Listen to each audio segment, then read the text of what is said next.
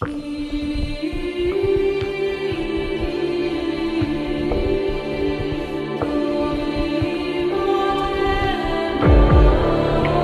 霊を出れさせるのが君の仕事じゃなかったのかな？いつか指導くんじゃあこうしよう少年次の土曜日私がデートしてあげるよ。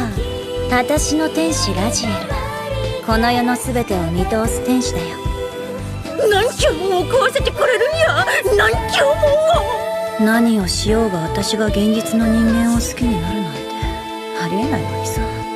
にゃそんなに叫ばなくっても聞こえてるってのあれ？